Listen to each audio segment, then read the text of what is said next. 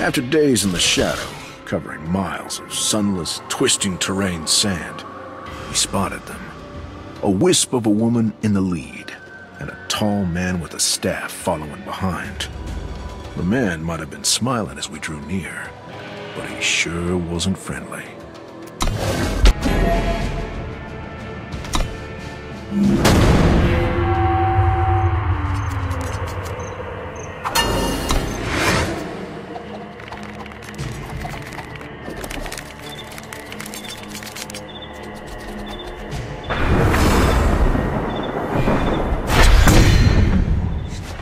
Look, Vara. Your uncle's lackeys are persistent, are they not? You've been expecting us? She is free of you, Valkyrie. Vara walks her own path now. My own path. Yes. Die with honor.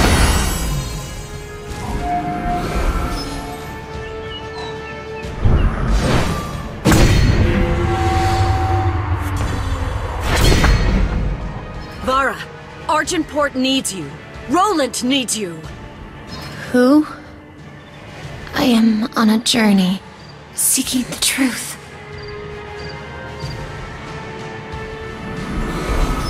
Meet my axe!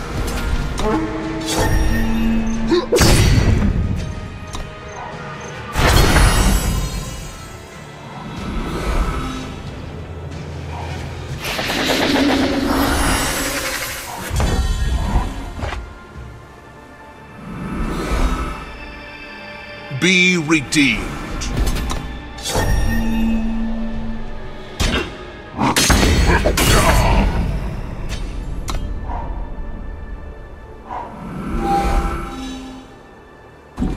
Through the shadows.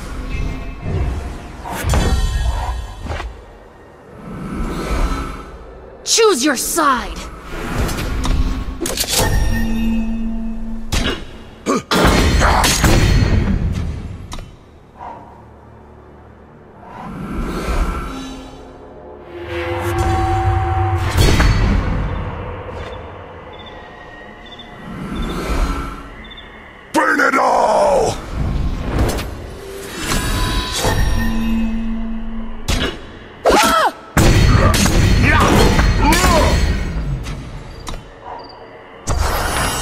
She's all magicked up. Look, her pendant, it's glowing. No!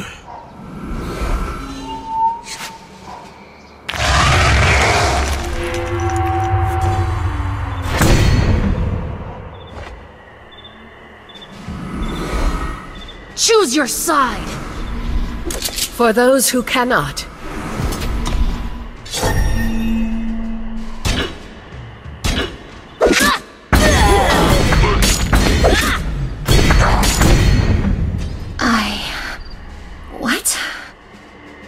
Captain Icaria?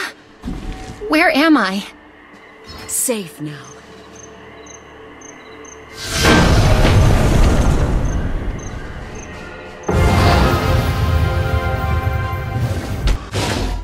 It felt like drowning, the endless pressure on my chest, clawing upwards toward a wavering light.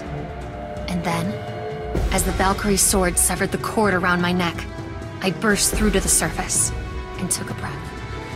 Azindel's amulet lay broken on the ground, its cruel shape burned into my skin, a final gift from my vanished mentor. They had come to take me back to Argenport. My father was dead.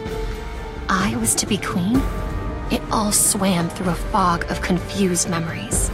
I was free, but had I traded one captor for another?